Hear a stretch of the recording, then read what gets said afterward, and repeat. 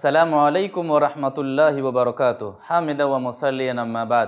محترم ناظرین، ہم جو کھیتی کرتے ہیں یا پھر جو پھلدار درخت لگاتے ہیں، تو ہماری کھیتی میں سے، ہماری زراعت میں سے اگر جاندار اللہ کی جو مخلوق وہ کھا لیتی ہے، یا پھر انسان اسے خرد برد کر دیتا ہے، یا پھر چوری کر لیتا ہے، تو اللہ تبارک و تعالیٰ اس کا اجر ہمیں آخرت میں دے گا انشاءاللہ۔ یعنی یہ ہمارے لیے صدقہ ہے۔ ہمارا مال، ہمارا پھل یا پھر ہماری کھیتی میں سے اناج، چوری کر لیا جانا، پرندوں کا کھا لیا جانا، جنگلی جانوروں کا برباد کر دیا جانا، یہ دنیاوی نقصانات تو ہو سکتے ہیں وہ پھر دنیاوی نقصانات میں سے تو ہیں۔ لیکن اللہ تبارک و تعالی ہمیں اس کے معاملے میں، اس بارے میں آخرت میں بدلا دے گا۔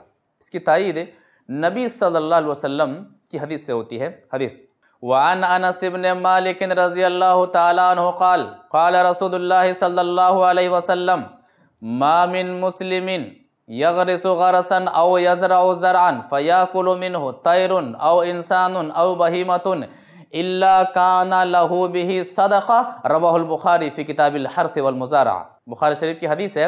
راوی حدیث انس بن مالک رضی اللہ تعالی عنہ۔ وہ فرماتے ہیں کہ اللہ کے رسول صلی اللہ علیہ وسلم نے فرمایا، ما من مسلم یغرس غرسا او یزرع زرعا.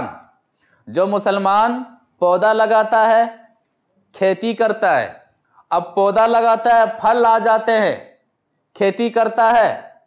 کھیتی میں گیہوں اور دھان یا پھر اس طرح کی جو بھی کھیتیاں کرتا ہے، اللہ تبارک و تعالیٰ نوازتا ہے۔ اللہ تبارک و تعالیٰ اس کے، اس عمل کو اللہ تبارک و تعالیٰ ضائع نہیں ہونے دیتا ہے، پھل نکل آتے ہیں، اناج آ جاتے ہیں۔ فیاکل منہ تیرن او انسان تو کھیتی میں سے پرندے کھا جاتے ہیں، یا تو درخت میں سے پھل پرندے کھا جاتے ہیں، یا پھر انسان کھا جاتے ہیں، یا پھر جانور کھا جاتا ہے۔ اللہ کانا لہو بھی صدقہ اللہ کے رسول صلی اللہ علیہ وسلم فرما رہے ہیں کہ درخت لگانے والے کے لیے یہ صدقہ ہوگا، کھیتی کرنے والے کے لیے یہ صدقہ ہوگا کہ جو کچھ بھی کمی ہوگی اللہ تبارک و تعالیٰ ادر اسے دے گا ادر سے نوازے گا۔ اس حدیث کی اور اس معاملے کی مزید اور تفصیل اللہ کے رسول صلی اللہ علیہ وسلم بتلاتے ہیں کہ اور اور کیا چیزیں ہیں اور کیا صورتیں ہیں جس کی وجہ سے ایسا کام کرنے والے کو صدقہ ملے گا، صدقے کا ثواب ملے گا۔ حدیث، وعن جابر بن عبداللہ رضی اللہ تعالیٰ عنہ قال قال رسول اللہ صلی اللہ علیہ وسلم، ما من مسلم یغرس غرسا الا ما اکل منه فهو له صدقة، وما سرق منه فهو له صدقة۔ وما اکل السبع منه فهو له صدقة وما اکلت الطير فهو له صدقة ولا يزرعه احد الا كان له صدقة. رواه مسلم في كتاب المساقات. مسلم شریف کی حدیث ہے، راوی حدیث، جیسا کہ پتہ چلا، حضرت جابر بن عبداللہ رضی اللہ تعالیٰ عنہ۔ وہ فرماتے ہیں کہ اللہ کے رسول صلی اللہ علیہ وسلم نے فرمایا، ما من مسلم یغرس غرسا، جو مسلمان پودا لگاتا ہے، جو مسلمان درخت لگاتا ہے الا ما اکل منه فهو له صدقۃ تو جو پھل کھا لیا جاتا ہے، تو پودا لگانے والوں کے لیے، درخت لگانے والے کے لیے صدقہ ہے، ثواب ہے۔ وما سرق منه فهو له صدقۃ کھیت سے اناج کو چوری کر لیا گیا ہے۔ درخت سے پھلوں کو چوری کر لیا گیا ہے۔ اللہ کے رسول صلی اللہ علیہ وسلم فرما رہے ہیں کہ درخت لگانے والے کے لیے یہ صدقہ ہوگا۔ وما اکل السبع منه فهو له صدقۃ جنگلی جانور جو کچھ کھا لیتے ہیں۔ تو کھیتی کرنے والوں کے لیے، درخت لگانے والوں کے لیے صدقہ ہوگا۔ وما اکلت الطیر فهو له صدقۃ پرندے جو کھا جاتے ہیں، جس کی وجہ سے پھلوں میں کمی آ جاتی ہے، کھیتی میں کمی آ جاتی ہے، اناج میں کمی آ جاتی ہے فہو لہو صدقتن۔ کھیتی کرنے والوں کے لیے صدقہ ہے، کھیتی کرنے والوں کے لیے ثواب ہے۔ ولا یزرعہ أَحَدٌ۔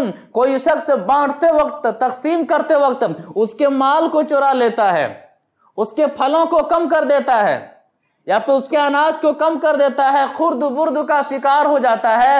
تو دیکھنے میں تو انہیں پھل کم ملتا ہے۔ تو جتنا کم ملا ہے، اتنا ان کے لیے صدقہ ہوگا۔ اللہ تبارک و تعالیٰ کے یہاں اتنا انہیں ثواب دے گا۔ اللہ تبارک و تعالیٰ کے یہاں انہیں بدلہ ملے گا انشاءاللہ۔ تو صدقہ کی صورتوں میں سے، نیکی کی صورتوں میں سے، ایک صورت یہ بھی ہے کہ آدمی جس درخت کا مالک ہے، آدمی جس کھیت کا مالک ہے، دوسرے لوگ اس میں سے خرد برد کر دیں۔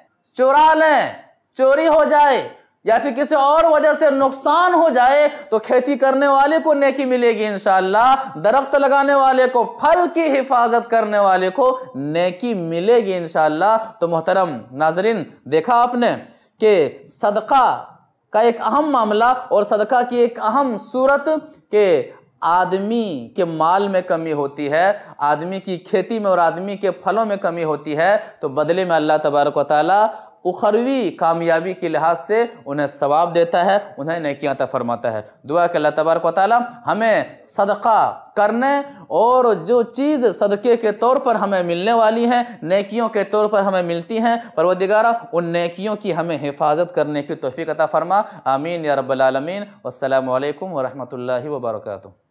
ایسے ہی اور ویڈیوز بنانے میں ہماری مدد کریں۔